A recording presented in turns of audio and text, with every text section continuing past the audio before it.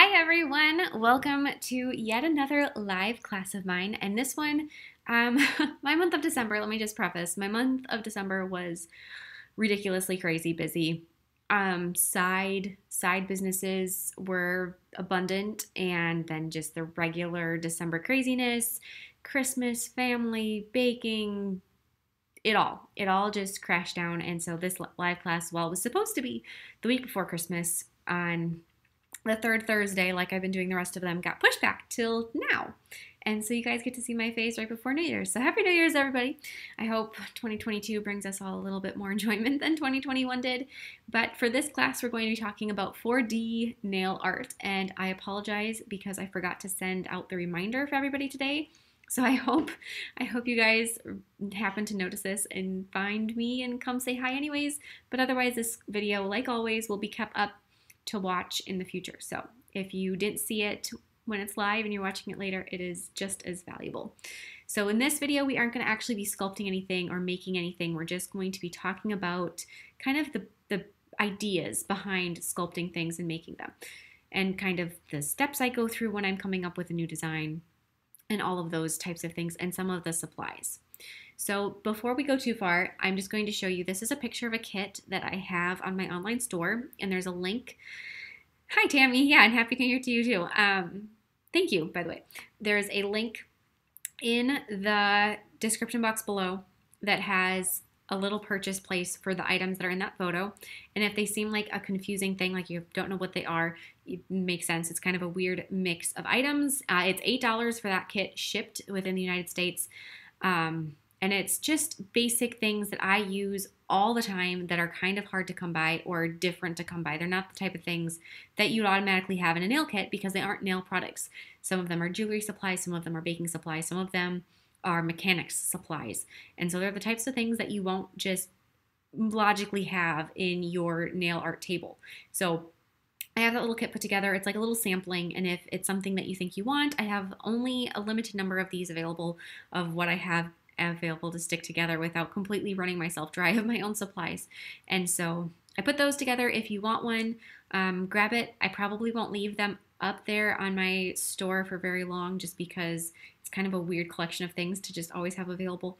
Um, so probably like a week and otherwise I'll just take them down. So anyways, if that's something that you're interested in, definitely check it out. Like I said, it's $8 and I will quickly just run through what is in it is exactly. So in the top little corner there, or across the top, that is a pipette. And I'll show you later. But remember, it's a pipette. See, it's one pipette. It's 10 teeny tiny little magnets, 10 red beads, five of those bar wires with the loopy loopy loop on the end. Or, um, yeah, they're, I don't know what they're called, but they're a wire with a little circle on the end. And then there is some bar beads that are in there. So that's the kit that it comes with. And it's just a nice little mix. I always have the magnets and the pipettes on my online store. So if those are something that you want, you can always just get those separately. But otherwise, this little kit puts them all together in just a nice little package so that you get a mix. So there's that. Like I said, in case anybody is wanting it or, you know, if it would be something, I'm trying to get myself more centered on here. That looks better. Okay. Even better yet. All right, so now we're just going to get into it. So beginning with a concept. So when you have an idea, whatever your idea is, and you think, you know what, I want to make this four dimensional. What can I do? You know, that's usually how I go with. I don't, it's like a 50 50 shot. Either I have an idea that I know is four dimensional and I know the movement that I want it to make, or I have an idea and I think, you know what, I want to make this four dimensional. I want to make it moving. And just to kind of go back a little bit, I want to describe what I mean when I say 4D or four dimensional because I get questioned this all the time where people are like, why do you say four dimensional? It's not a fourth dimension. There isn't, you know, it's not moving through time and space.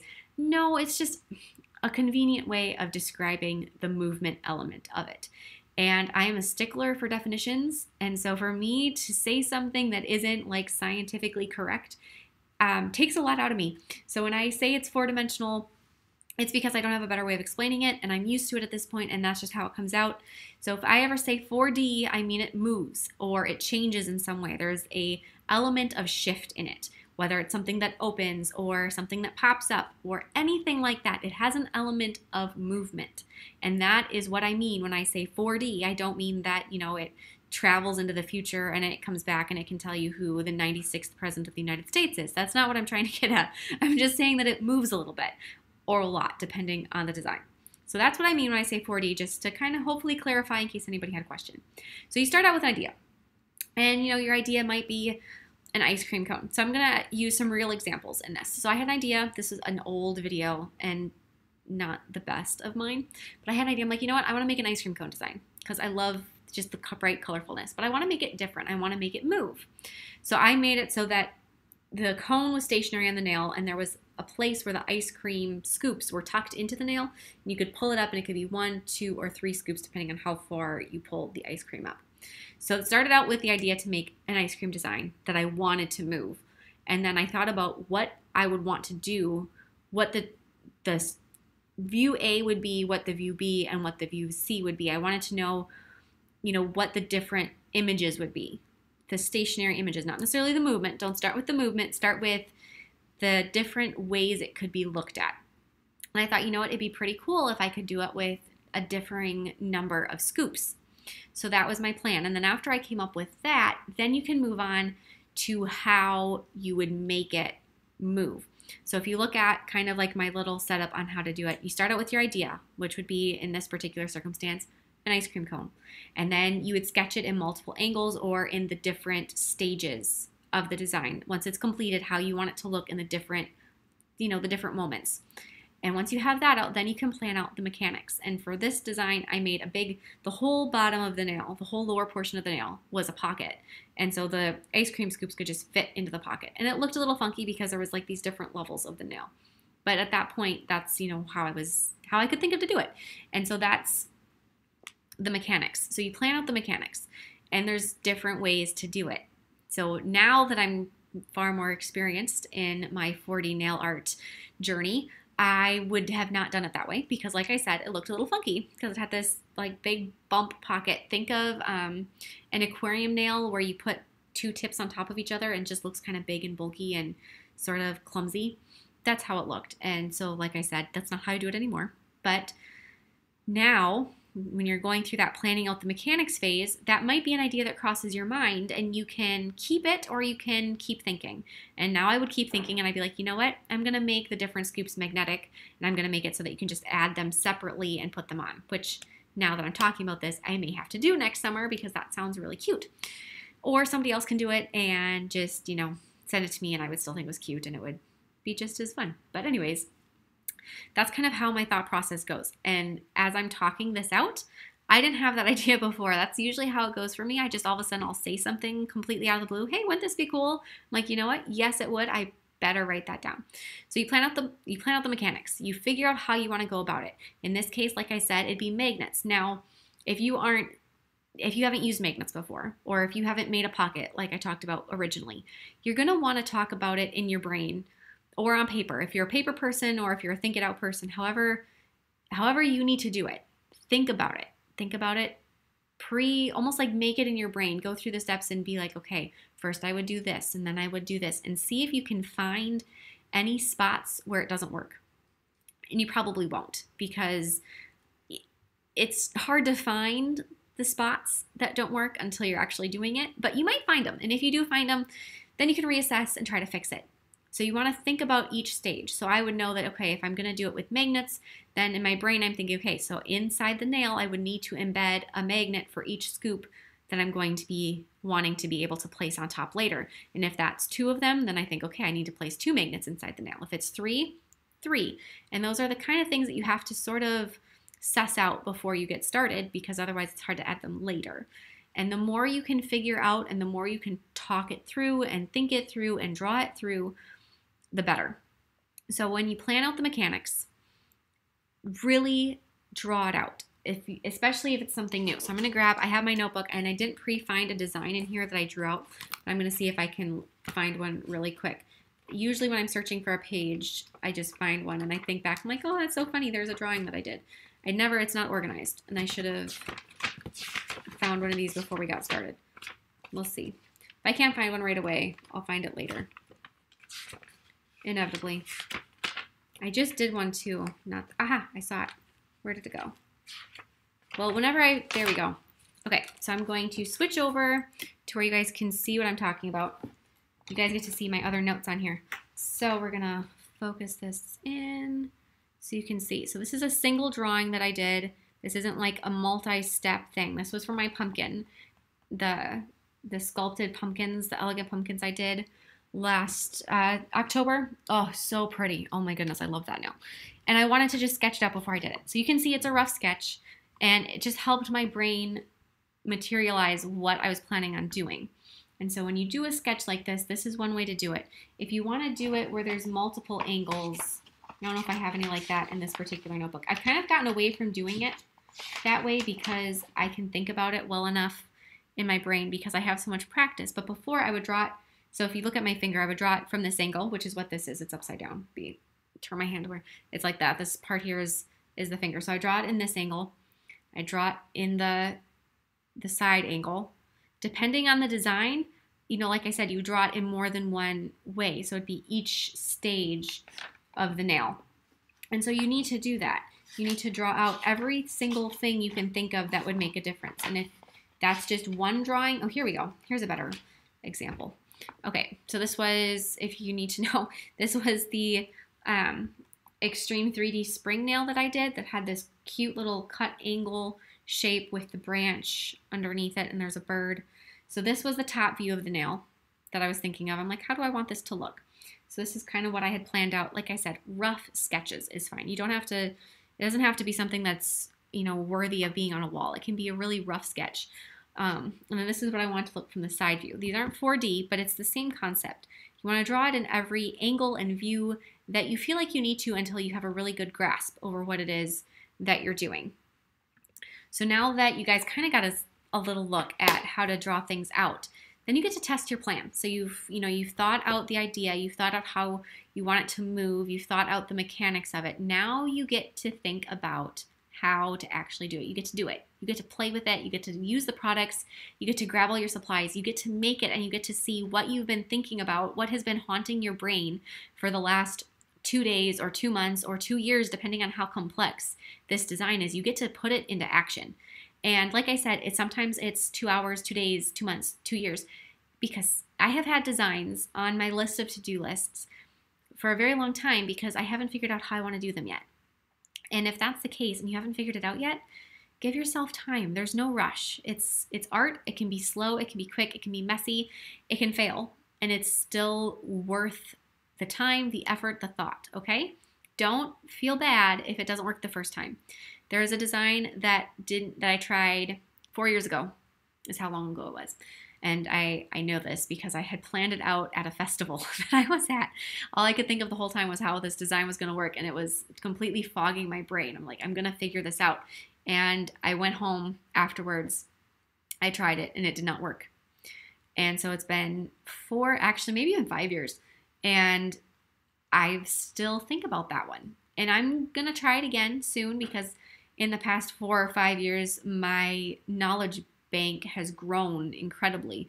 I've done so many other designs, and who knows what piece of knowledge I've learned in the past five years that could make this concept that has been haunting me for the past however many years um, become possible. So, if I do do that video, I will definitely reference back to this one to be like, hey, you guys remember us talking about nothing that nobody knew about? This is it. So, yeah, so don't try to rush it, but once you're ready and you feel like you can do it, test it out, see if it works. Maybe it'll work.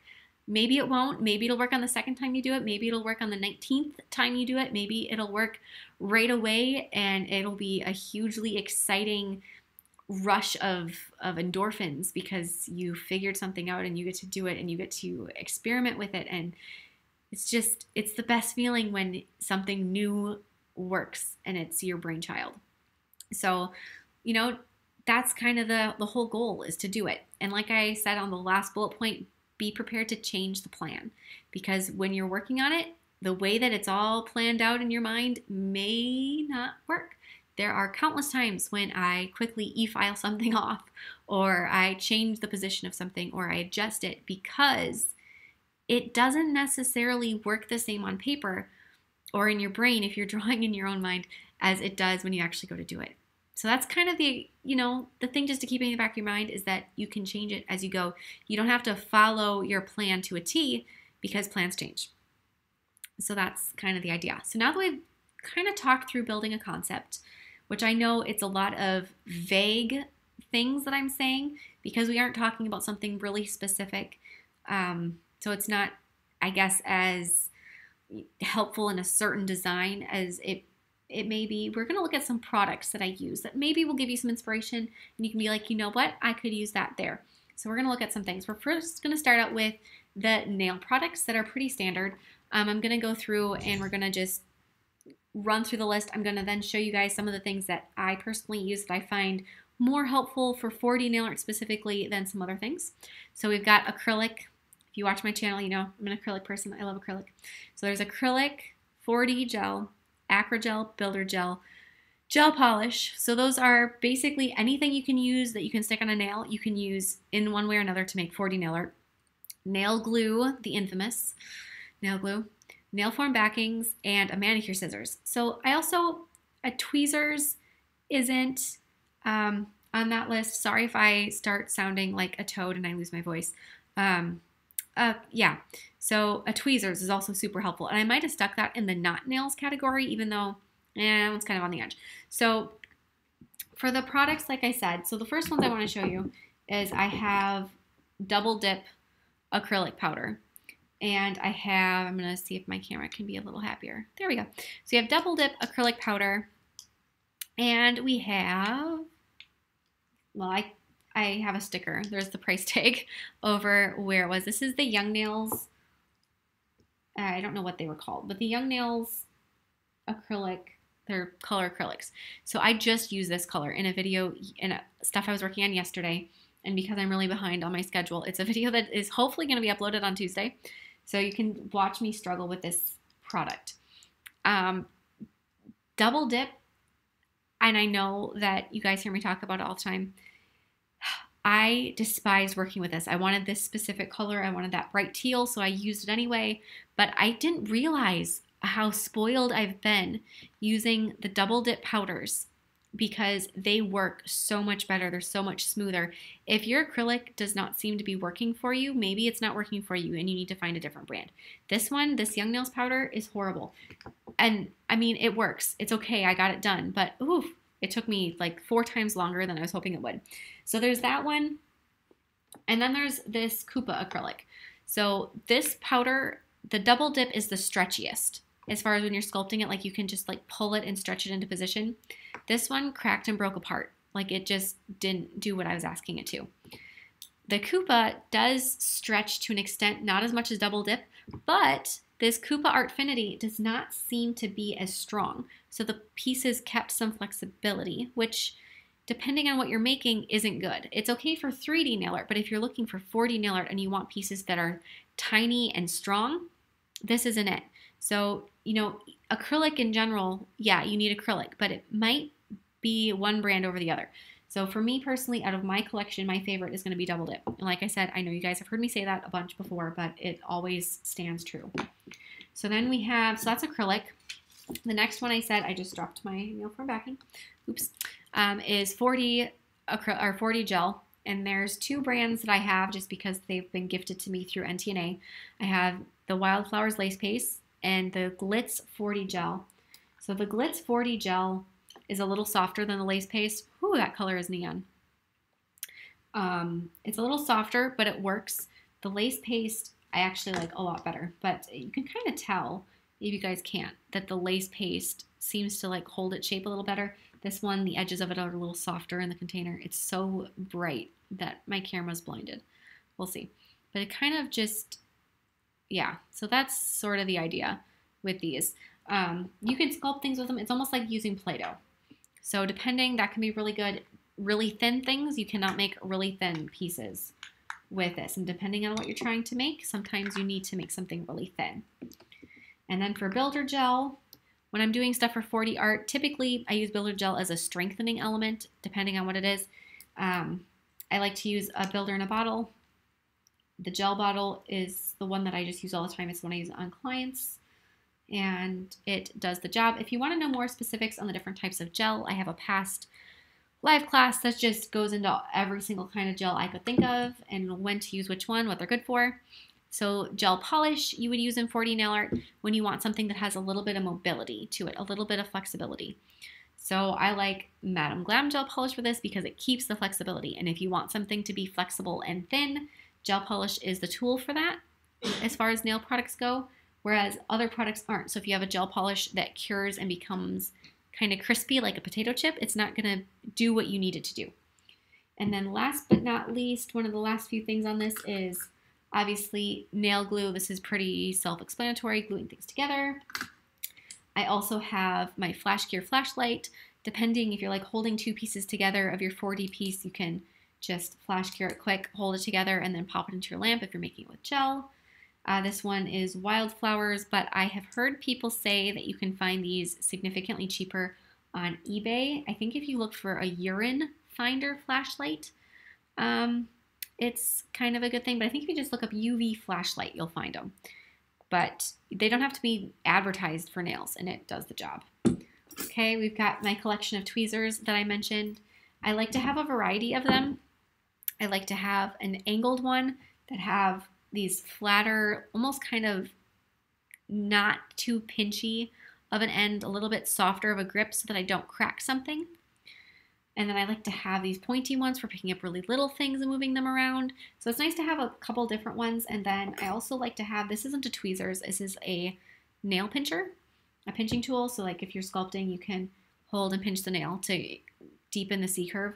I never pinch nails. I never um, have enjoyed that but I have a pinching tool and it can sometimes help to hold things together while you're waiting for them to dry or cure.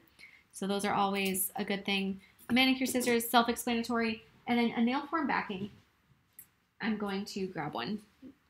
So this is what a nail form backing is. It's essentially sticker paper. I use them all the time. And a lot of times people don't know what they are, and I say a nail form backing, and they still don't know. So this is a nail form backing. It starts out as a nail form. This is a nail form, just in case, you know, we don't know. And a nail form is used to make a nail enhancement without using a plastic nail tip. And after you peel it off the, the backing, there's this beautiful sticker paper. It looks like this. And you can sculpt your pieces on top of it. So if you're making a box, you can sculpt all the sides of the box on top of here. And then you can put them together and they just create these beautiful flat pieces.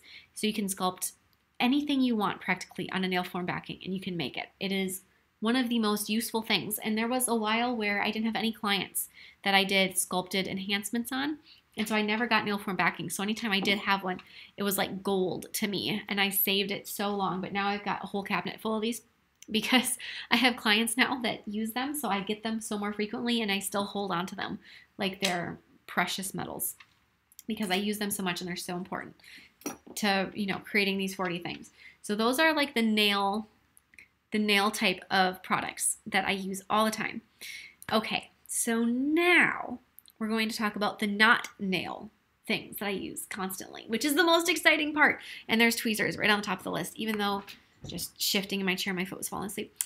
Um, tweezers, like I said, they're on the edge of whether they're nail or not nail. So we're going to talk about those things that I showed you guys in the beginning. And I know a lot of you probably weren't there for it because I forgot to advertise this class very well. But I have a little kit on my online store that includes some of these things that are not nail products that if you want to just grab, it's a good little sampling. It's kind of like a little beginner's thing if you you know want to try some 4D stuff but you don't have the supplies you don't want to you know run to 16 different stores and spend an arm and a leg to get a bunch of stuff and you just want to get a little bit of a bunch of things then it's a good little option for you i can show it to you again so that's the kit um, it has a pipette it has some seed beads magnets bar beads and those wires with the loopy on the end i don't know what they're called okay so now we're going to go back to our not nails Okay, so tweezers, I already showed you guys those. We know tweezers. Jewelry wire. There are so many different gauges of jewelry wire that it's hard to purchase that without looking at it and feeling it, I think. But jewelry wire is what you want for doing this. You don't want something that is like a copper wire or a like a hardware type layer because depending on what they're coated with, what the metal is, when you put your acrylic and whatever, you know, gel on top of it, sometimes they they might corrode or not hold up to the the chemicals that we're using. Whereas jewelry wire is just a little more durable in that environment. They're a lot of times made to be used with resin, with casting resin, and that type of resin is essentially gel. It's just like our our gel our hard gels. It's at the same product, but one has got a cosmetic label on it and one of them doesn't. So as far as like chemical breakdown goes, they're essentially the same thing. So you don't have to worry about the wire breaking down in that environment when it's made for it. Then there is seed or sand beads. Seed beads are slightly bigger than sand beads, and truthfully, you probably want seed beads, not sand beads. So I'll show you. I'll show you those all in a minute. Um, thread, super useful to use thread. I love using thread in different things. You can make nice little hinges because it's flexible and it stays flexible. It holds on to the products really well. A gazillion colors that you can pick from. There's just so many uses for thread. Pipettes, that's one that took a little bit for me to find. When I was originally hunting them down, I searched high and low because usually they're far larger. And I wanted to find teeny tiny ones. And I don't even remember where I got them. Somewhere, some website on the internet. And it's been a while since I got them. And I was so excited when I finally found those pipettes and when I'd been searching for days to find the ones that were as small as I wanted them to be. So pipettes, um, that is what I use to create something that oozes. So the most recent oozing video I think I have, I've done different things like where there's um, water or hand sanitizer inside the little vessel of the pipette and then you insert it underneath the nail and you squeeze it. And the first one I did was an eye that looked like it was crying so cool. And I've done like bleeding skulls. I've done a bleeding heart where you can put some fake blood in the pipette and squeeze it and then it bleeds. All of those cool oozy things are what you want a pipette for. And um, they're just a little plastic pipette like you used in science class in sixth grade, but they are tiny. They're so tiny. Um, and then straws. Straws are, well, I'll show you in a second, but I have a collection of straws. Whenever I find a a straw someplace that's a different size, I keep it because I don't use it because I that would be like cross contamination and gross to have a straw that somebody drank out of. so I don't use it. I keep it and it goes in my collection. And I use them for sculpting anything that has to be circular and hollow. And you'd be amazed how often that particular need comes up. So straws of as many sizes as you can get your hands on and then a mailer bag, which is probably the most unusual thing. And I actually have some more stuff over here that I forgot to put on my list that I will show you too. So really quick, I'm just going to read a comment so that I don't miss it. So this is from C. Ann Taylor. I've been watching you on and off for the past five years, and you are absolutely hands down one of the most talented nail artists I've ever watched. Keep up the good work, and I'll be watching. Thank you so much. That is so sweet. Especially anytime like somebody's been watching me for five years. I was just talking not that long ago about how how much I look at my work from five years ago and think, ooh, I could do better. So I really appreciate that. All right time to look at some not nail products. I'm gonna take a drink so I don't lose my voice. We're gonna start with the mailer bag because I think that's the most surprising. So this is, if you're in the United States, we have the United States Postal Service, and they have these priority mail mailer bags available, and they don't cost anything. So you can just walk into the post office, do your, you know, buy stamps or whatever it is, and you can grab one. And I've been using the same one as long as I've snatched it. Um, we just actually keep a bunch of them in our house because we mail stuff all the time. And so what you can do is you can see this material. It's thin like paper, right? It's it's thin, but it doesn't tear. You can't rip it. It does not rip, it does not tear. You can write on it. These are meant to be write on so that you can address them. So it doesn't rip, it's water resistant, you can write on it, and it's thin and flexible like paper. So this particular material is so unique and so necessary for what we do if you want something to have like a little piece of paper in it. Say you're wanting to make a four-dimensional little notebook that opens up and has pages in it. If you use paper, the first time it gets wet, it's going to be ruined and it might rip and it's just not sturdy. Whereas if you use this, it holds up. And so the one thing is, is underneath it, it says thank you for using priority priority mail services. So you have to sort of cut between the writing, but we don't need very big spaces usually when you're doing nail art stuff.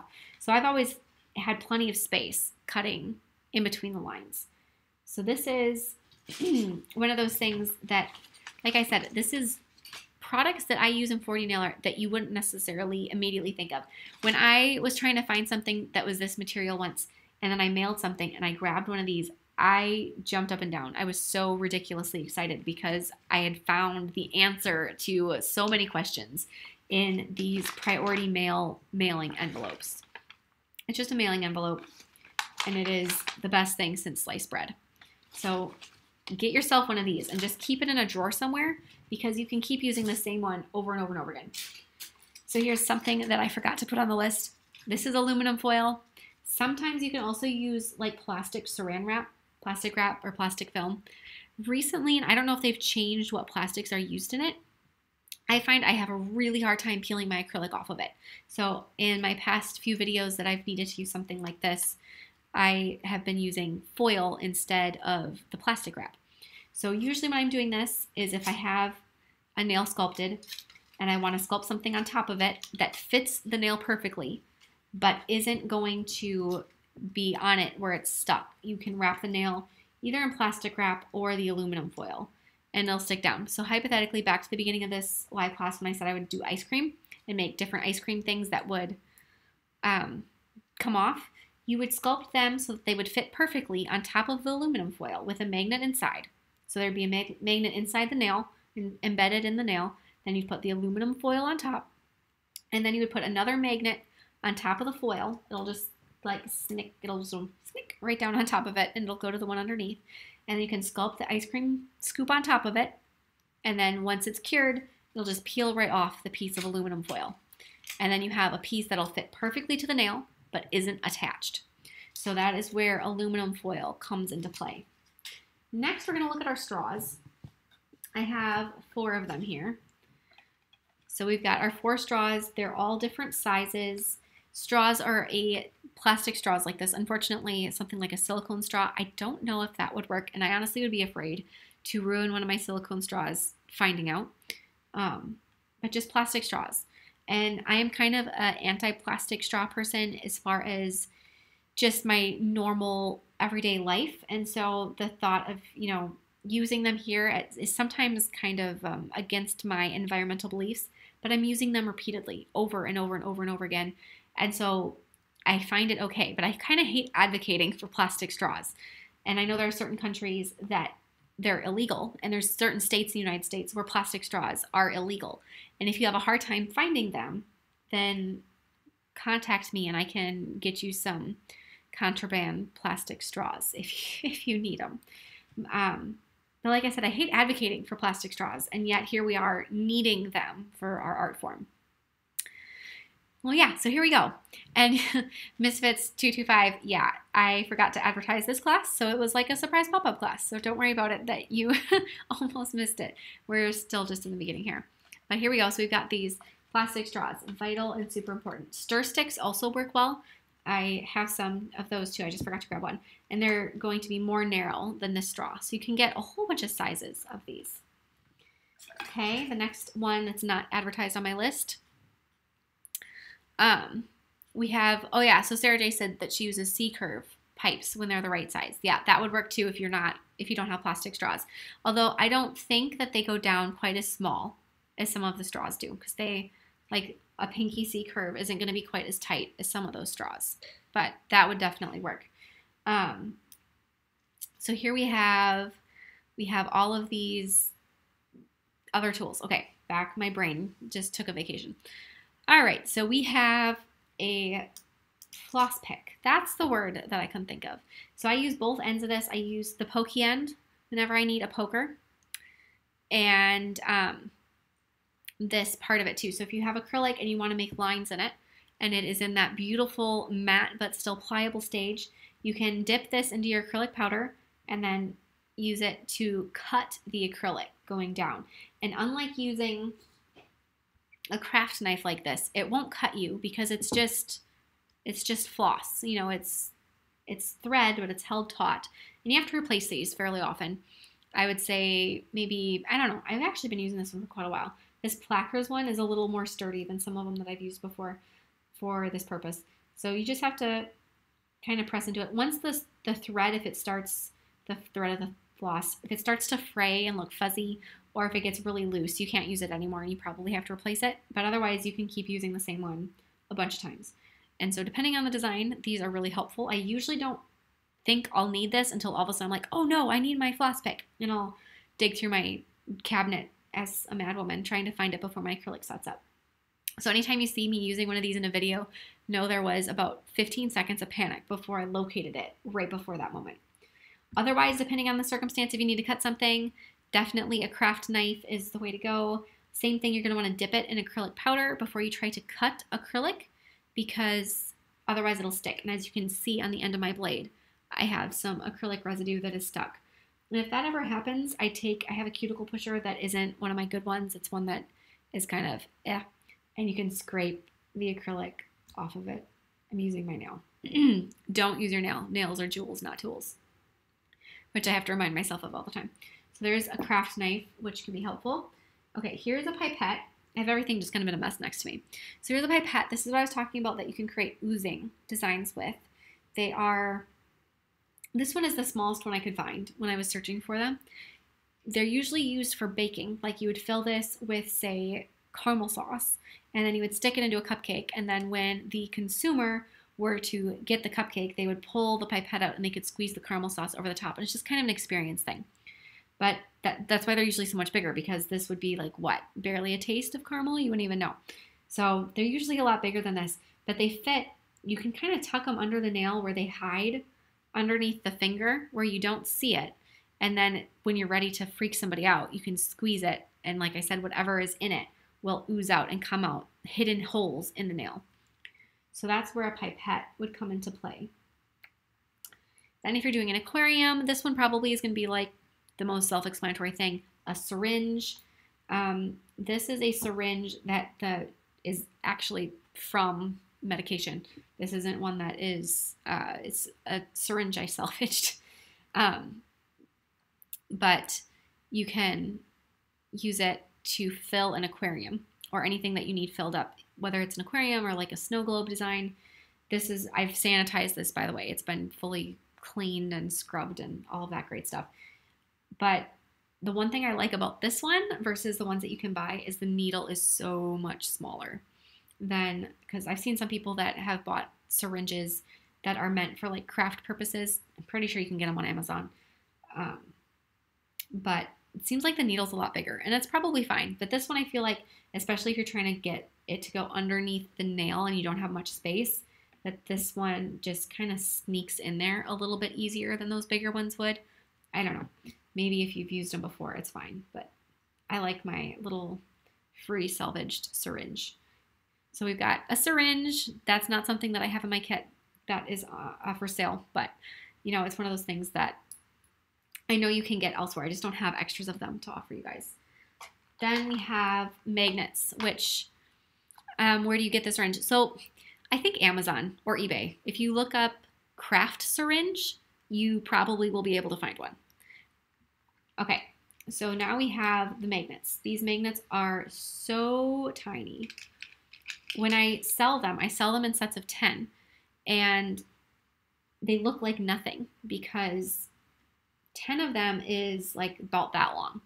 It's, I didn't count those, but that's about, you know, the length that 10 of them is. And so if you grab one,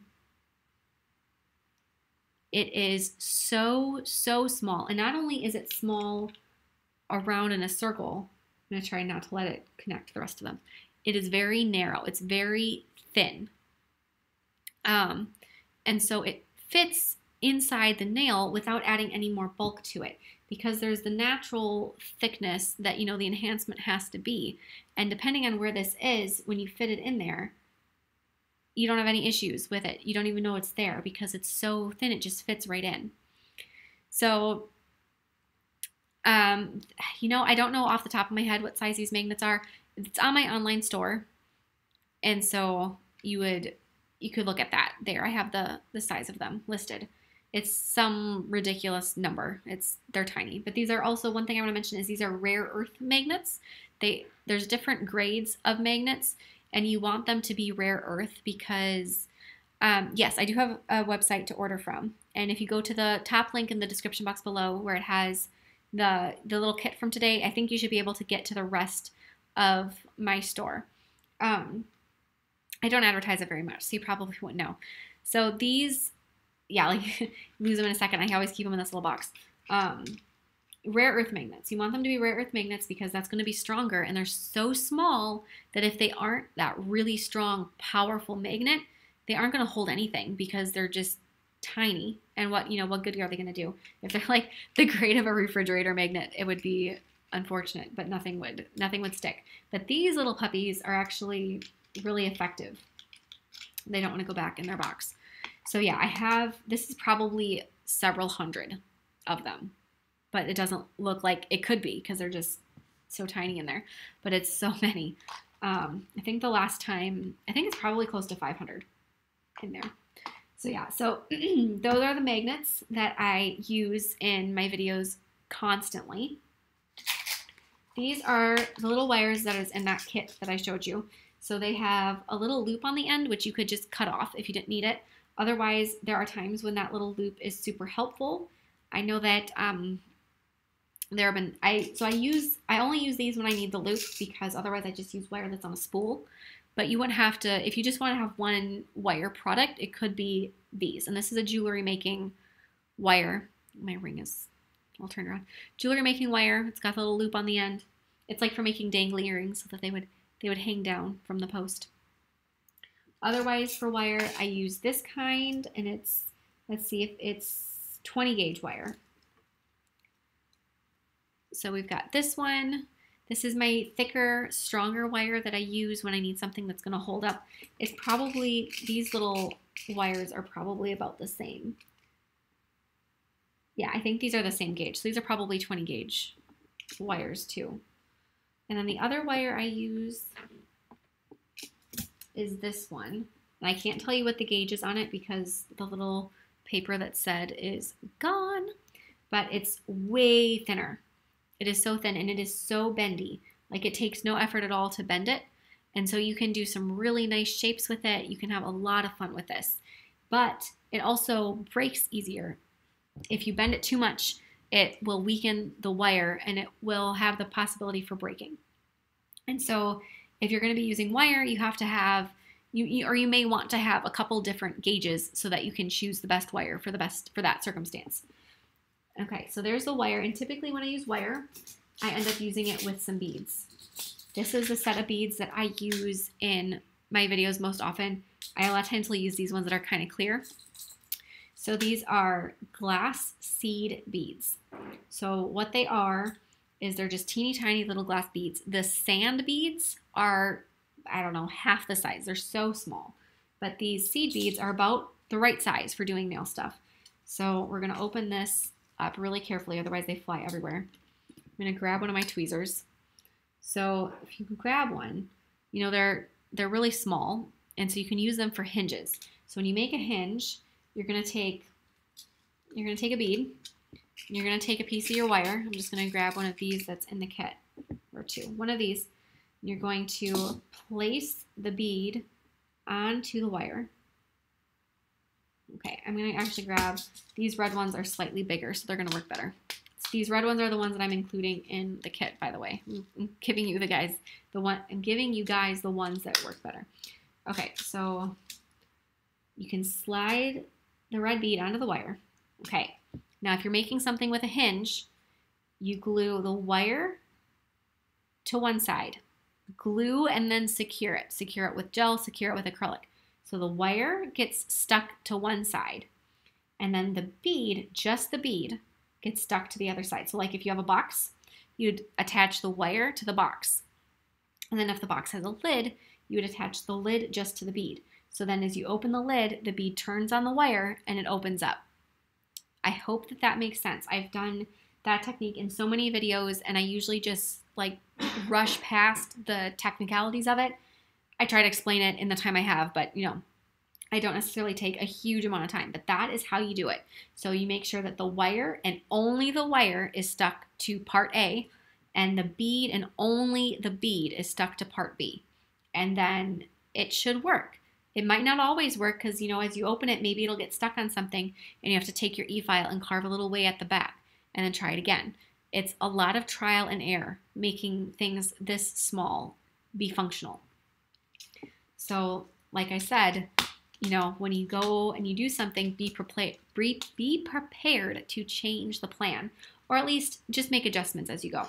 So there are the beads. Now, if you're making something that's like a box with a lid, these bar beads are actually a little nicer because they create a little smoother working of a hinge. Unlike the seed beads, that when you open the lid, it can kind of wiggle back and forth because it's just that tiny point that's on the wire. If you use one of these bar beads, which is the same basic thing, if you use one of these, then when it's on the wire, it can't wiggle left and right. It can only open, open, and close because the extra length stabilizes it. So I haven't been using these nearly as long. I just found them in a drawer. And so I was like, hey, that would solve a lot of my problems. So these are great. So I included a few of these in that kit too. So we've got those. And all of these beads, if you know, if you are just wanting to go get a whole bunch of them and just dive headfirst into making 4D nail art, craft store like Michael's or Hobby Lobby, Joann's would have this type of thing. Otherwise, there are some jewelry making specific stores not anywhere near me, but I know that there are some, some like bead warehouses that would have so many options for you in this type of a category. So beads are something like this that I use all the time, and I call them seed beads, which is what they're called. And I know I've gotten people say, "Well, what are you talking about a seed bead?" This this is the creature that you are hunting. All right, we're down to just, I think this is the last thing on my list of supplies. We have thread. I personally like to use, oh, I dropped my spool, um, upholstery thread. It's a lot heavier than your other thread, so it's a little bit more sturdy and durable depending on what you're doing. But I do use regular weight thread as well. But the upholstery just seems to just grab things a little easier. You know, it's not gonna if you accidentally file it with your file, it's not to break right away, which other thread is a little bit more fragile and it'll it'll break on you. But this stuff is pretty pretty durable. So I think that's pretty self-explanatory for thread depending on, you know, what kind of a design it is that you're doing. And any of these things if you want to see, you know, designs using these products that we just talked about, if you if you just look in the YouTube search bar and you type in hot pink zebra polish 4D or 4D nail art, you will find so many designs where I have used these products.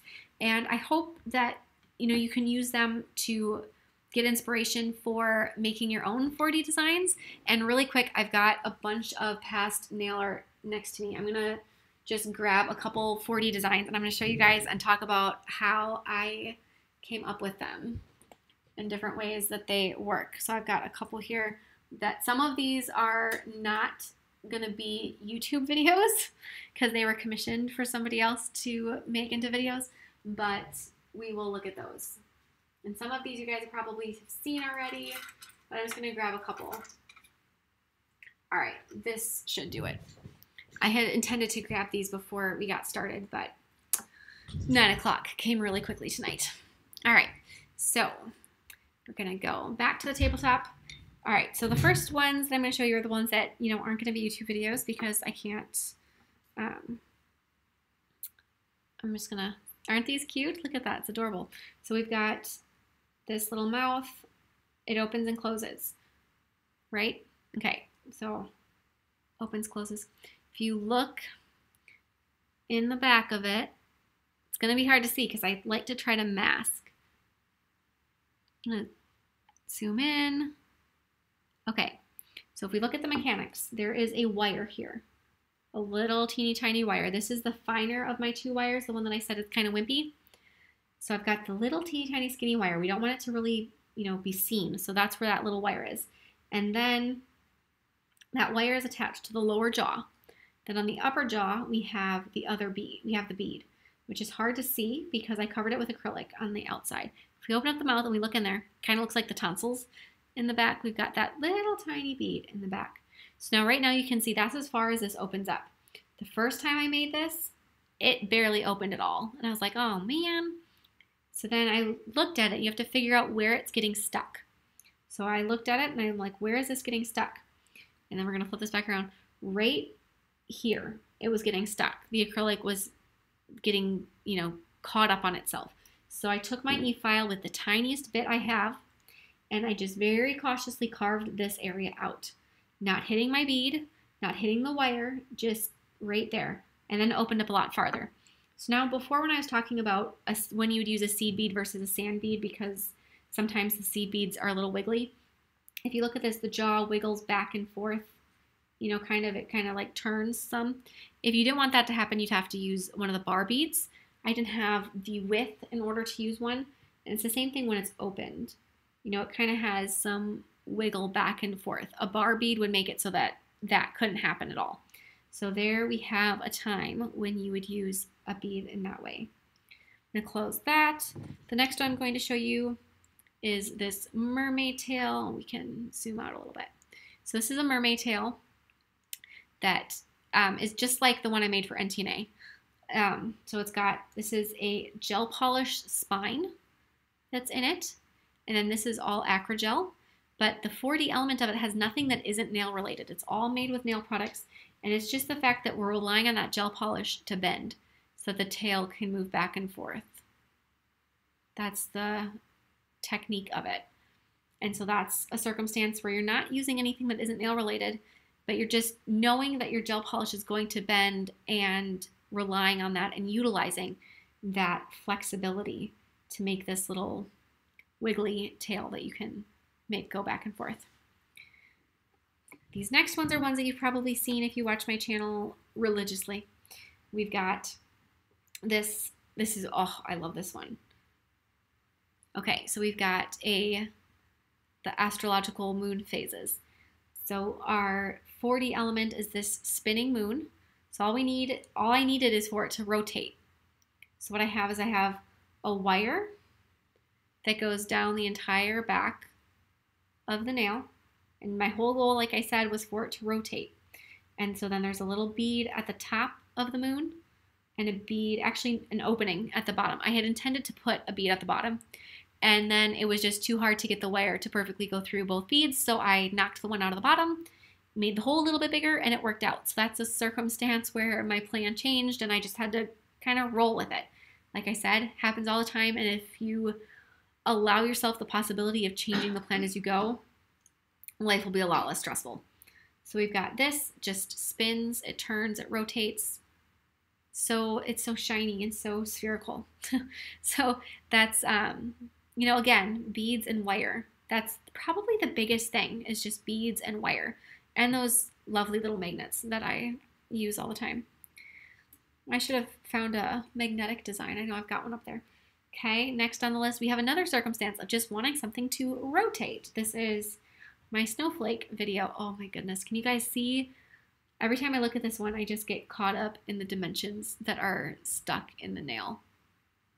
It is so pretty. Okay, getting distracted now.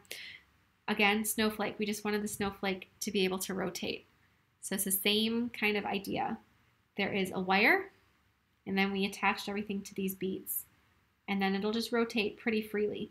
If your beads fit on your wire snug, if they fit, but it's not like a really loose thing, then when you spin it, like you can't um, just flick it and it'll spin around, around, around, around. It'll, you know, spin a little bit, but it'll also hold its position, which I prefer. If you want it to spin faster or do it a little differently, then you'll have to have slightly larger beads or slightly smaller wire, which, you know, again, is just a trip to your craft store. So just spin that around. Oh, I could do this for like hours. Just watch it go around and around and around. Mesmerizing. Okay, before I get too distracted here and everybody goes to sleep. Last one, again, beads and wire. We just want this to move. A lot of a lot of things are trial and error. This one, when my trial and error was at first, my Santa and my reindeer spun. Like they would just do circles and then I figured out that if I just bent the wire, because there's a wire that's holding them together, if I just bent it a little bit, they couldn't spin, which was all that was needed to make it so that they didn't just get seasick on their on their sleigh ride. Reminds me of the Grinch when he goes, "I'm gonna die, I'm gonna die, I'm gonna throw up, and then I'm gonna die." That's, when I was watching him just spin around and around. That's what I was thinking about. We don't want that to be the case. So just you know, a little tweak is usually all it takes to make it work if it's for whatever reason not working. So now let me just see if I can find something with magnets really quick. Oh, I've got another one to show you that opens. It'll be a good one.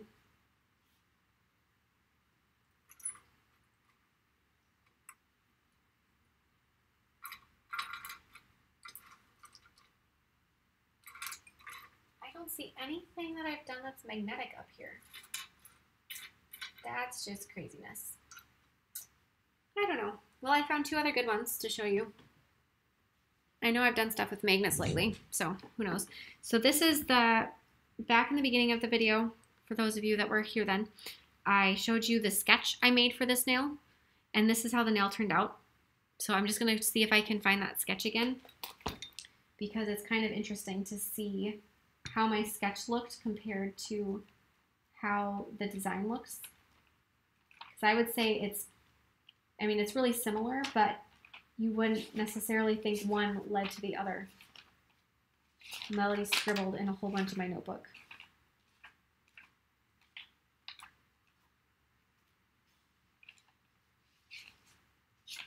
Yeah, I'm not going to find it again. Oh, there it is. See, right when I threatened not to find something. Okay. So here we have, here we have the sketch that I made for this nail. And you can see it. So I drew out the top view. And here is the top view. So you can kind of get a perspective of it. At first, I was thinking of putting some flowers down here, and then I decided that you could kind of see the ones from underneath through, so I didn't actually attach any to the that part of the nail. So my, my little notes are scribbles, which is usually how I do things. So here's how that looks. And then from the side view, here's my sketch of the side view. So I've got that shape of the nail coming down. I've got the branch coming down, the little bird. So that's kind of how, how my sketching process works.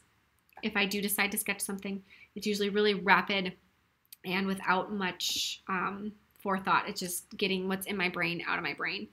And so then we end up with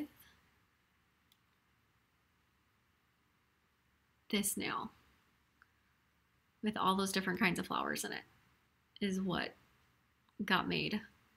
Not four dimensional, but just really cool if I if I do say so myself. It's kind of four dimensional just in the fact of it's unwearable and extreme, but it doesn't move. So then the last one I'm going to show you guys is one that I used those bar beads for instead of using a seed bead. So it doesn't wiggle, which you guys will see. So if you open it up, it opens, but it doesn't wiggle. So it doesn't like tip back and forth whatsoever. It's really nice and secure. So if you ever are doing something where you want it to be like this pizza box, it would look weird if the top of the box tipped back and forth. So again, the wire of this hinge is stuck to the bottom of the box and the bead is stuck stuck to stuck to the lid. And that is, you know, just just how it is. So that's how you got to do it. And then at the back you can see where the wire is, just super helpful. Um, to get kind of a closer look at how these things are assembled. So now that we've done this this whole class where we've looked at products that I used, we've gone back and looked at some past nail art. Next month, we're going to be doing some of these. We're going to do a technique. We're going to do one 4D technique. We're going to do a 4D design start to almost finish, at least the 4D element of it. We probably won't do like finished painting um, live, but we're going to do a 4D design in next month's class. And I personally am really excited for for that. And you know, a lot of this class kind of hinted towards hinges, but I'm going to do a poll on my YouTube channel in probably a month, not a month. The class will be in a month, less than a month actually, because this one was late. Um, a week. We'll do a poll and we'll do a question of if we want it to be something that is magnetic with these adorable little magnets in it. If we want it to be something with a hinge, like the pizza box. If we want it to be something where it spins, like this snowflake. Or, last but not least, if we want it to ooze with a pipette. And so I'm going to ask everybody, and if you want to have a stake in this whole thing and decide what it is that we're doing, then let me know. And then after that, depending on what it is, if I have like a few designs within each category that we could do, I'll probably do a second poll once we have the tech, the 4D technique or concept down, uh, what the actual design is. Because I mean, if it's something with a hinge like this, I did, I showed you guys two designs. I, we have a mouth and we have a pizza box. Completely different, you know, styles. So we're to find something that you guys want to watch, I want to make, and that we'll have a really fun time putting together next month. So come back in January, definitely. If you're interested in that kit, um, like I said, I only have a couple of them. I have 15 of them made up. So if you want one, that's the only 15 I'm going to be doing. And it's only going to be available for about a week because they're products that I will only keep aside for so long and then I got to declutter and I got to put them all away. And once they're put away, I'm taking it off the website. So there we are. If you want one of those, uh, grab it. Otherwise, you know, if you want to just go to your local jewelry store and, you know, grab a basket and go to town, definitely do that too. And if you want to be part of my future live classes, I usually am much better about sending my email reminders and I will, there's a, uh, my email address is in the description box below so go and send me an email to that email address, hotpinkzebrapolish at hotmail.com, and I will add you to the list and you will get an advanced supply list of what you will need to do next month's class which sometimes isn't that big a deal. Like today, we were just chit chatting. There was nothing that you really needed to have out. But next month, when we make something that's 4D and you guys are going to be making it with me, you're going to want the reference photos. And you're going to want, I'll probably, depending on what it is, I'll pre make some templates for you. You're going to want the templates. And you're going to want to know what it is that you're going to need. Are you going to need magnets? Are you going to need little pieces of wire? I don't know. But you will probably need to know. And once I know, then you will know too. So that stuff is all going to be important things. So if you aren't on that email list and you want to participate, get yourself on the email list and we will see you next month. I'm so excited for these live classes to continue into the new year. This has been the 12th one. I started them last January and it's just so crazy that I've, you know, this the 12th one. I don't know how it happened so quick. I feel like this is still just a new idea for me. But I have been having so much fun doing them with all of you. So, yeah, I can't wait to see you guys see you guys next month with this.